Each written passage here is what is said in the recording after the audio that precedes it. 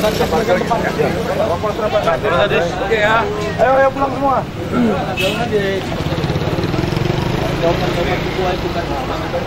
PDI menang, Ganjar Presiden.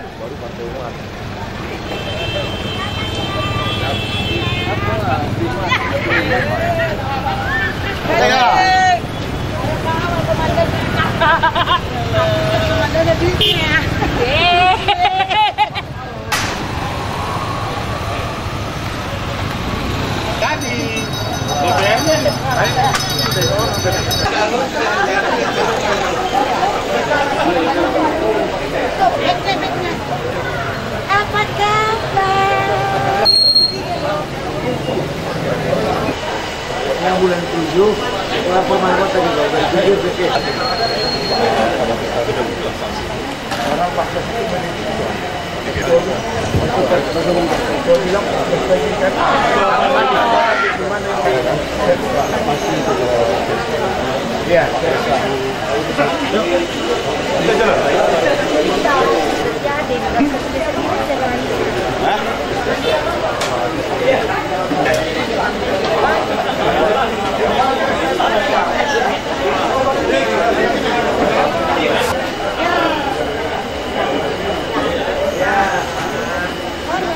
Nyanyi lagi ketua kita di harus disemangati nyanyi jadi terasa. Ya, sur kita. Nasdem mau masuk. Ya, punya lah.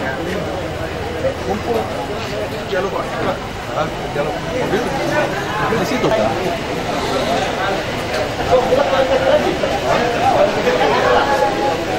Ya, baik. Terima kasih rekan-rekan media.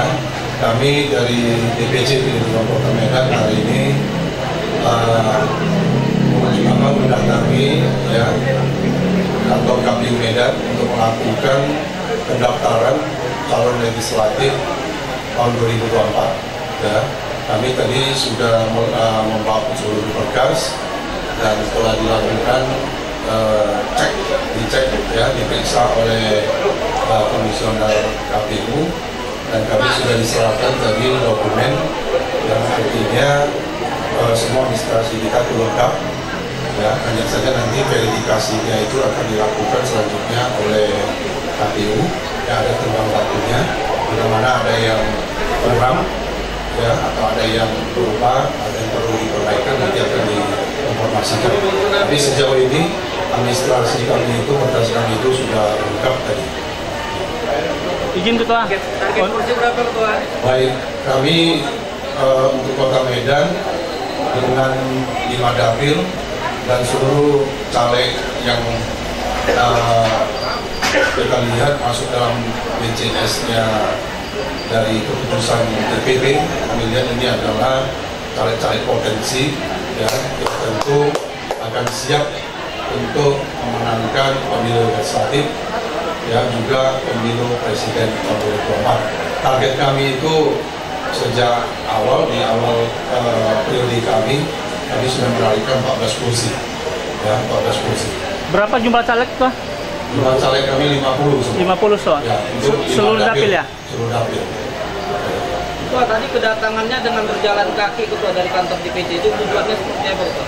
Ya, kami eh, ingin menunjukkan kepada masyarakat bahwa kami pilih perjuangan ini partai yang dekat dengan masyarakat, ya, partainya Wong Cilik yang selalu eh, turun ke masyarakat untuk menyapa masyarakat Kota Medan tanpa kecuali dan siap melayani masyarakat Kota Medan juga. Dari 10 kursi kita di anggota dewan sekarang, apa semua itu masuk dalam pada saat ini juga?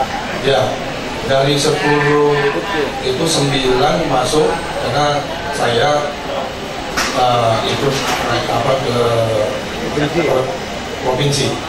Ya, provinsi. Jadi 9 semua masuk di lima dapil.